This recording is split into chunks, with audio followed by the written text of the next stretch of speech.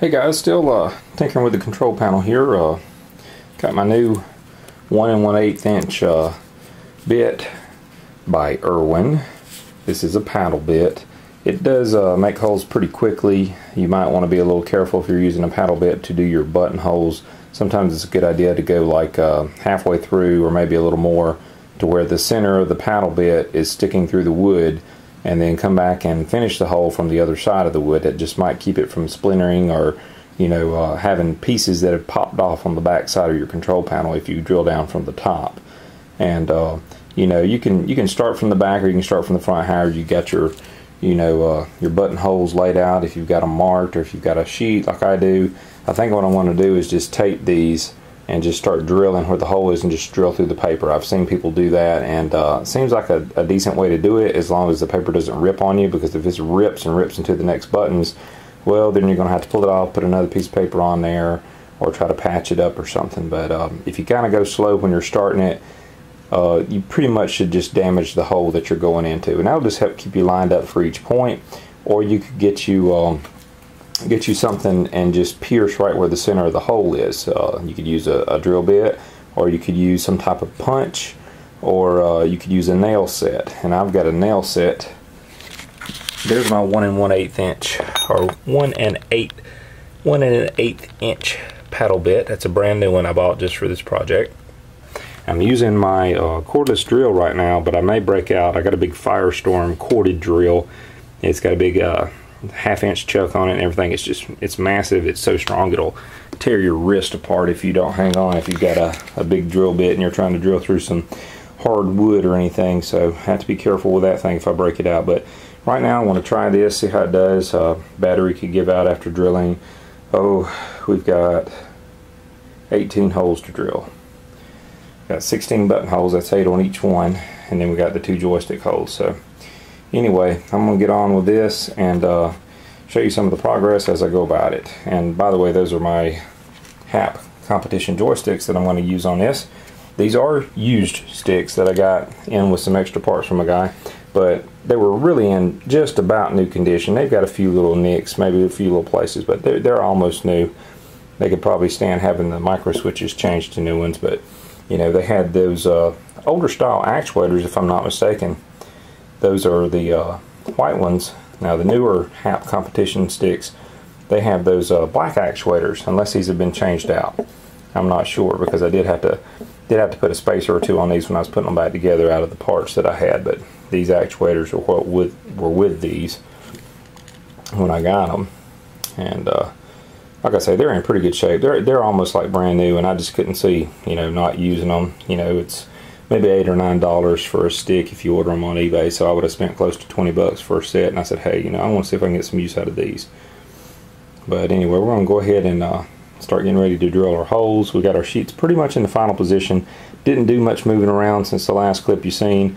The only thing I did do is I did extra mark here to show where the hinge is going to be up under this panel because I had to leave, uh, that's about a quarter inch there just for the uh, part of the hinge where uh, it opens up and down and uh, didn't didn't want to get too close to that especially with my trackball so I wanted to leave just a little bit of clearance there so it wouldn't too close to the hinge.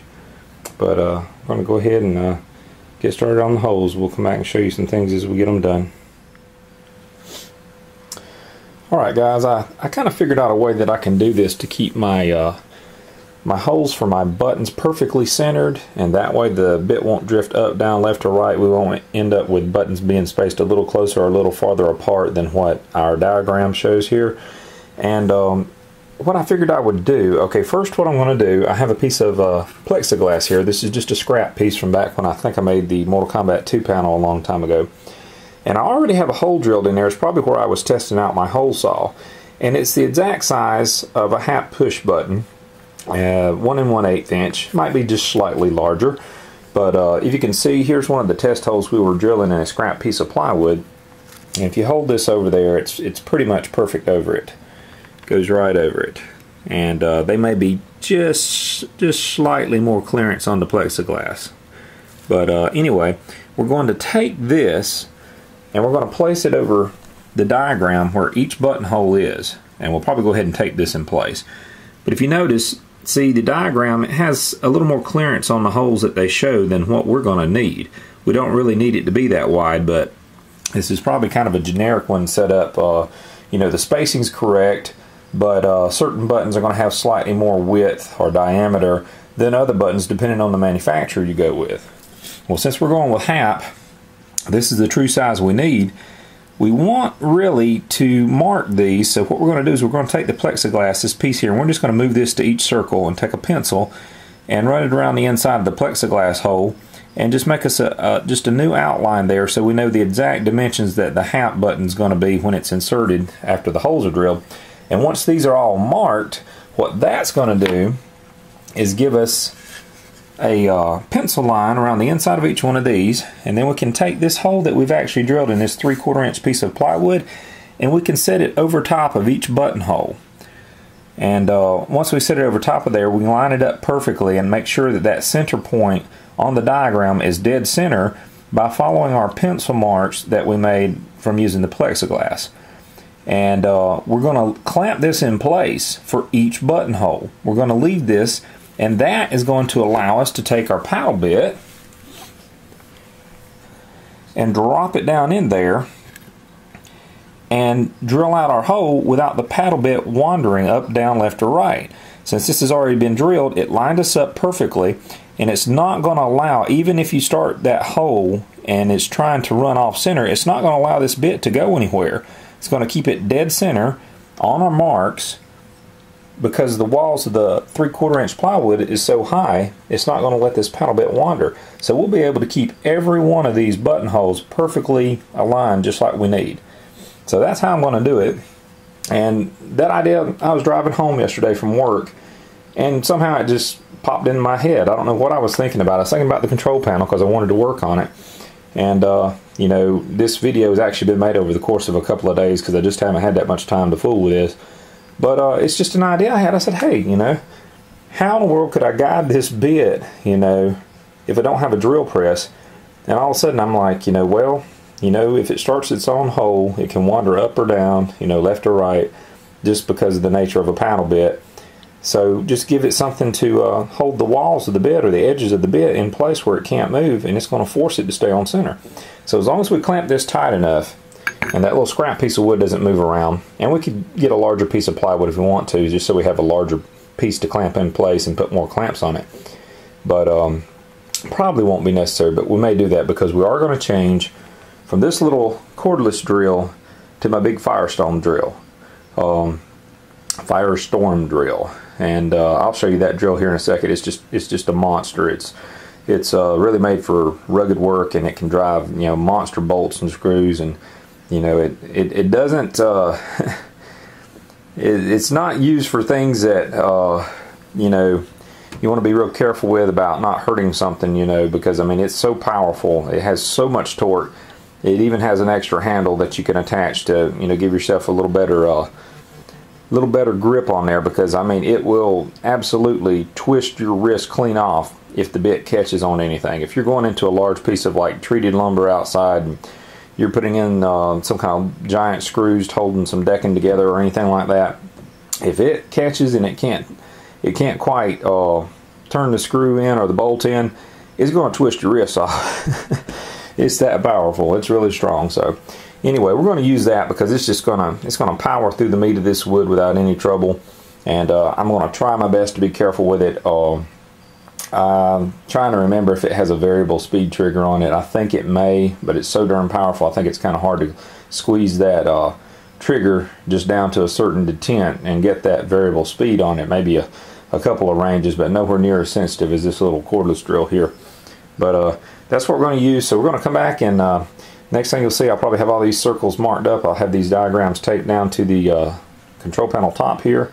And uh, Another thing that will help is since we're using these boards and clamping them in place, it'll kind of help um, when it goes to tear this paper, if this is clamped over top of it, it'll keep the paper from just tearing crazy and going into the next buttons and stuff. If you didn't have this in place and you just try to drill straight through the paper, there's a good chance with a paddle bit that it'll tear the paper and damage the next buttons around it. So uh, we really don't even have to use the diagram. If we wanted to just take a punch or something and just mark the center holes of each buttons, we could do it without the paper in place, but I just kind of like the idea of keeping it in place, making sure we're not getting off mark or anything. And that is the exact place that we're going to uh, drill all the buttons. We've got everything marked up. Got it exactly the way I think I'm going to like it. Um, from the joystick base over here, we're only going to have uh, maybe 3 8 inch clearance from the edge of the base and where the wood starts from the control panel box here on top. This part right here is going to be right where you see uh, these two lines here. That's where the meat of that control panel box will be. We'll have about 3 eighths of an inch and then the base of the joystick will start. So we are getting really close to the edge. But if I use any type of uh, clamping mechanism to hold the top down on the control panel, I can always come up above the joystick and put that right in this area. So I'll still have plenty of clearance. As long as I don't mount any buttons right here, I'll just have to make sure I come over a couple inches if I start mounting like uh, select or start buttons or coin in buttons or anything like that. And uh, over here, clearance is just slightly closer, at least from the edge of this circle. From the edge of the circle, it's only about 2 eighths from the edge of where the control panel box will be. But since these circles are made a little big, once you center the HAPP style circle there to drill through for the HAPP buttons, you actually get like an extra eight, uh, eighth of an inch almost. So it's almost 3 eighths inch clearance there. So it is still pretty close, but we're just taking advantage of the size of this control panel, maxing it out as much as possible. I don't think once we get it installed it's going to be any problem. It'll still clear. It'll just be real close. And uh, over here we've got almost an inch after the base. The base of the joystick is going to come over somewhere around here. Um, one, one and a half inch from the center point of the joystick we're still going to have about an inch clearance between between the side of the trackball, the, the mounting, the casing for the trackball, and it'll be about the same on this side. If you can see, we got somewhere around an inch clearance there. Might have just slightly more clearance on this side, but I don't think very much. And uh, the trackball, we, we got it pretty much lined up on our lines where we want it, and we have dropped it a little bit from the center point. We don't want it dead center with the buttons and everything. I just think uh, with games like Golden Tee or anything where you're really having to push the uh, trackball really hard and get it spinning. I just want a little more clearance from here to the top where you know you end up having the bezel and the monitor and everything even though it goes up at an angle I just want to make sure nobody's like going to jam their fingers against the front of the plexi or whatever that's there and uh, hurt their hand or not be able to play the game efficiently so this will still be a good position for games like Centipede and uh, Missile Command and stuff like that Crystal Castles all that'll still work pretty good in this position. And I think uh, just the look of it not being dead center, I think it looks a little less cookie cutter instead of just centering everything perfectly, just drop it down just a little. I think it'll still look really great.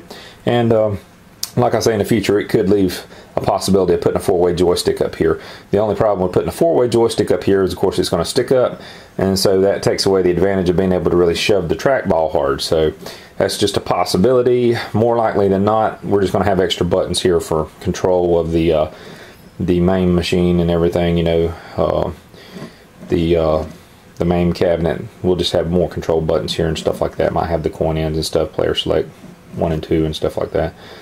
But uh, we'll figure that out as we go. So, all right, let's get these taped up, get them marked, and uh, get ready to drill these out. All right, guys, we got our templates taped in place. Used a little masking tape there. It's not very sticky. It'll come off the wood pretty easily, but it will hold the templates in place. And uh, got our trackball out of the way temporarily. And to be honest, probably to think about going out on the porch to do this. It's it's pretty nice. It's between 60 and 70 degrees out there right now. But uh, just uh, be a lot easier than having to uh, clean up the mess in here in the office, even though I could drill it in here. And uh, I could probably uh, either clamp this to my table saw or something, uh, but most likely I need to clamp it probably to the floorboards or um, the walking path of the catwalk or the steps outside or something like that. Something where um, I can put some scrap wood underneath it. That way I don't run my paddle bit through and uh, damage the boards or the decking or anything. But in lieu of the battery operated cordless drill here, we're going to use the Monster Black & Decker Firestorm here. And uh, this uh, this drill is just a whole lot heavier duty than this little sucker right there. you can see kind of the difference in the size of the motor on it and everything anyways. That's much bigger monster and uh, much more powerful. It's got a half inch chuck on it and uh, it's just really strong. Uh, I've still got a uh, Phillips bit on the end where the last time I used it I was running some uh, either 8 or 10 inch screws in where I did a repair on a piece of log on my home. And uh, tell you what it's it's really a monster. It's a beast. It's powerful. 7 amps. It's got the extra handle there. You can hook up and uh, give yourself a little extra bracing so you don't hurt yourself. Because if you don't have that extra handle on there this this can absolutely it can really hurt your wrists. And uh, I, would imagine if this thing caught just right and you had it at high speed, it could probably break a person's wrist. But uh, anyway, it's really going to power through these holes and uh, it's not going to wear down. We're not going to have to recharge a battery like we would on this one anyway. And uh, if you've got a, a, much better cordless drill, you might be able to do something like this with it. But uh, my cordless drill, it's uh, 15 or 17 years old and uh, it's an off-name brand, Chicago Tools. It comes from Harbor Freight. So, you know, it's it, it, does all the things I need around the house and all, but for something like this, I'm going to go ahead and use the big powerful monster here. But uh, see you in a few minutes, and uh, maybe I'll show you a little bit of drilling the holes out on the porch.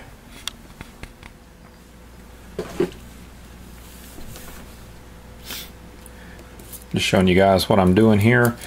Just using our 1 and 1 8 inch hole in the plexiglass here to perfectly center where we're going to drill out for the 1 and 1 8 inch holes for the HAPP buttons because the diagram's just a little larger than that. It's probably uh, 1 and 3 eighths or so, maybe a little larger.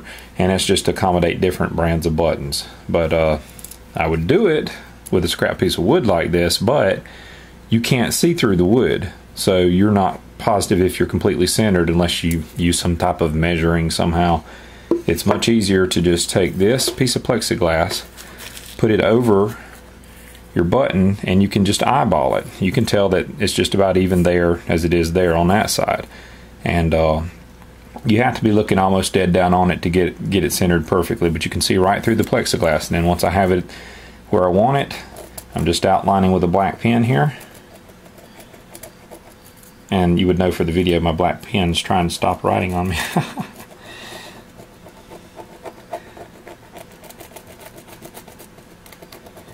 Just outline it good and dark. And then pull it away. And you can see there, we've got a good outline, and that's exactly 1 and 1 8 inch. I've already done these six over here. Only got one more for this side, then we have to do the other side. So just do this last one on this side, center it up, eyeball it. Looks like there's an equal 1 8 inch or so, maybe slightly more all around the outside diameter and then I'll just outline it here with the pen.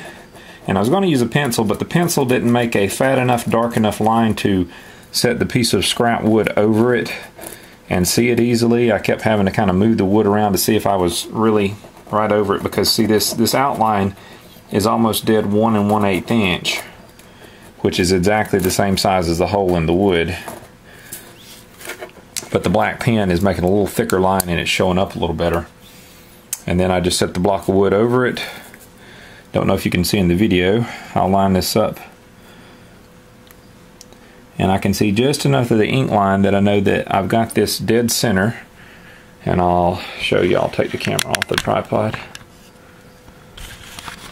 Not 100% sure if you can see down in there. See if I get close enough where you can kind of see but you can see a little, just a little bit of ink peeking out around the edge of that hole. And that's just enough for me to perfectly center this. And see, like if I was to move it a little too far off, you see, I see my, see my line I made. And then I would just want to come up, come up close enough to where the line disappears. And I get it perfectly centered. Let's see, it's hard to do without looking straight down in there. You have to look straight down in there pretty much. And eyeball it. But you know, that's going to be much closer than just uh, doing it by trying to just throw the paddle bit up there and hoping you stay centered by eye. This right here, once this is clamped in place or another scrap wood with this one and one eighth inch hole in there, it's going to hold that spade, spade bit dead center on that center point and it's not going to be able to really travel much. It, it won't move no more than probably a 64th of an inch if it does try to move at all and it's going to have to drill through the meat of this wood on the edges a little bit to even try to move so I think it's going to stay dead center. But uh, we're going to mark the other side. Got all eight of these marked. Going to mark the other side and get ready to drill these. And uh, might even go ahead and uh, I gotta look back for the diameter on my uh, joysticks. I can't remember. I think it may be uh, slightly larger than one and one eighth. I think one and one eighth will work. Might be one inch or it might be one and a quarter. I'm thinking one and a quarter. I'm gonna have to look up some of the some of the stats on this stuff online, what people get the best results out of, because I haven't drilled one of these by hand before. I've done uh, plexiglass, but uh, like I did the plexiglass cover here on the uh, Mortal Kombat 2, and I think I used a 1 and 1 8 inch hole saw bit, just like I did on my buttons. And uh, that's the same thing that was used when I was doing this test on this piece of plexiglass was a 1 and 1 8 inch hole saw. And to be honest, it's slightly larger than 1 and 1 8 inch. When you insert the HAPP buttons, they have a little bit of movement around. But uh, that actually helps you in case you want to wiggle them just a little and just kind of reposition them. Because like on the uh, Mortal Kombats here, see each one is kind of encircled in lightning. And when I inserted them, sometimes they would be just slightly over, like they were covering up a little bit of the, the blue for the lightning. And since that hole was just slightly bigger, I could just wiggle a little, but it's not going to wiggle any more than your control panel underneath. Your plywood underneath is only going to allow so much wiggle, so it depends on how big those holes are too. But uh, since I did this whole plexiglass uh, thing by hand, I just uh, laid the old Mortal Kombat 2 plexi over top of this new piece of plexi, which, you know, the original was Lexan. This is actual plexiglass or acrylic, whatever people want to call it. Uh, you have to be a lot more careful drilling this. It will crack and bust if you're not careful and take your time. And uh, I just lined up the old Lexan over top of this plexi once I had this cut to size. And I used a black permanent marker and went around the inside of the old Lexan and made all my buttonhole markings to mark where they're going to go. And then I had to center it up by hand. And it was pretty difficult, to be honest, to do all that by hand. Um, and then come back and do my joysticks. And uh, everything really worked out really good. The only thing I remember is that I think this one hole, you may be able to see, that one hole was just slightly lower than it needed to be. You can see some of the metal and um, artwork underneath there from the control panel overlay. And on top here, it's it's like dead flush.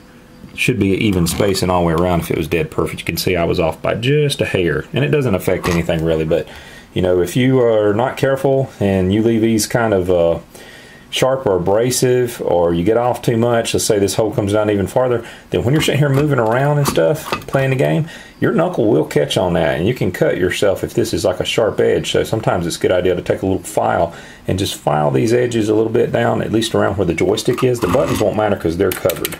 They're covered up with the top of the, the button shroud or edge there these joysticks there, if that's got a little bit of a sharp edge where you've drilled through that, depending on how you went through it and what kind of drill bit you used, you can actually skin your knuckle a little bit moving that around. So use a little file when you get done with something like that and just kind of smooth the edge down. Just put the file on the inside and push inwards like that and just kind of smooth it all around and don't do enough to you know monkey up your hole and make it to where it doesn't look round anymore just a little bit just take off any sharp edges but uh, anyway just about completely ready. Gonna finish marking these and main mark our joystick holes and we'll take this whole thing outside and you can see us drilling some.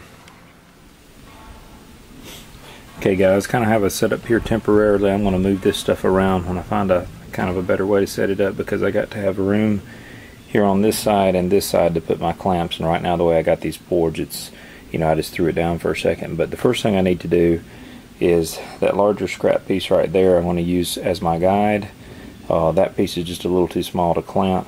I want to take and drill one or two holes near the center, kind of offset from the center, to use as my guides. And I apologize for what you hear. It sounds like a neighbor's putting a fence or something up. But uh, I'm going to drill maybe two holes in the center of this piece to use as guides for my drill bit. And I want to put one a little closer to this end and one a little closer to this end so that uh, I don't have to move this real high or real low because then my clamps won't reach to clamp it onto the uh, control panel top. But the first thing we need to do is drill a couple of holes that we're going to use for our guides.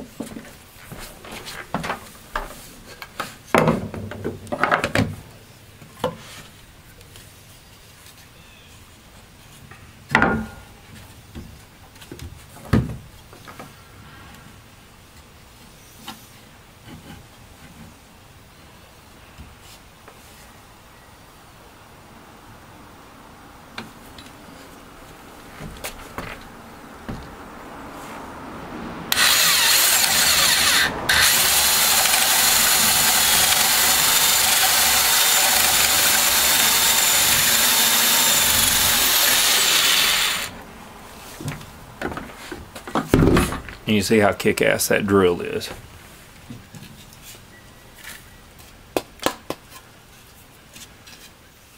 If you take a look, there's not too much splintering on the top. This is where we first went in, and that's perfectly fine for me. We're going to have an overlay on this, and we can just run a little bit of a file in there and just clean that edge up if, if we want to, but I don't think I'm going to have to.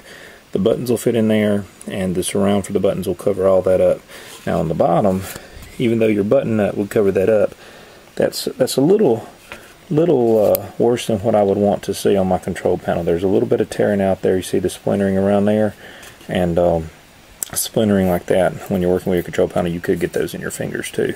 But um, what I did is I ran it all the way through, and I did have that 2x4 down there. As you can see, I think it's on your screen right about there. That's where it broke through and uh, made that little circular impression in the 2x4.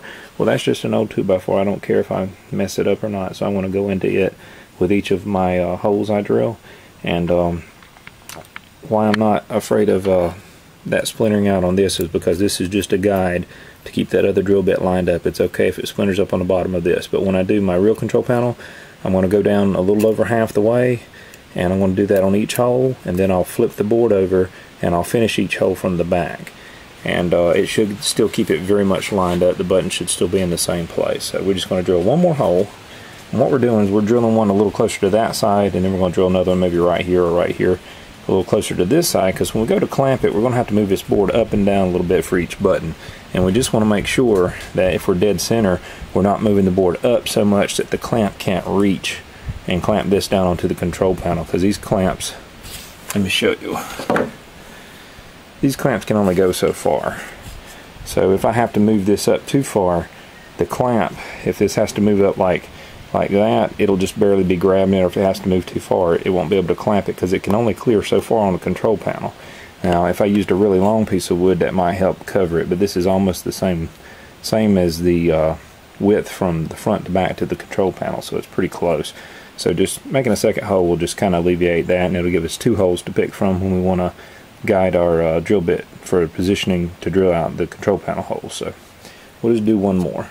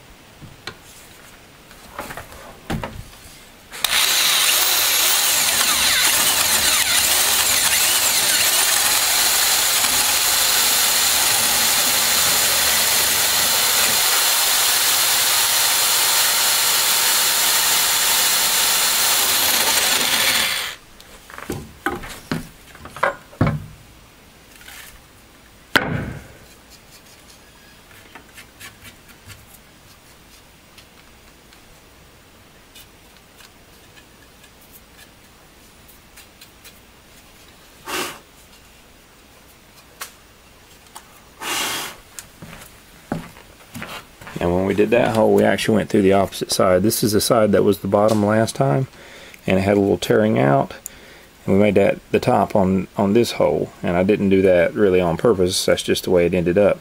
But uh, on the opposite side, you can see, for some reason, we didn't have any tearing out, and I don't know why it did that. It just made a real clean hole on the other side. Maybe because I flipped the wood over, uh, this side here is not as prone to chipping and splitting as this side for some reason. This side has a little stronger grain to it. It's like it's been sanded, but I can feel the grain a whole lot more. But it really chipped pretty bad on this hole. This one looks really clean. But anyway, uh, they're just guide holes. They just have to keep the bit in place, so no big deal. We're going to clean this mess up with the air hose and blow it out of the way. Going to clamp the uh, control panel down And we're going to get this board in place for the first hole. I'll be back in a second.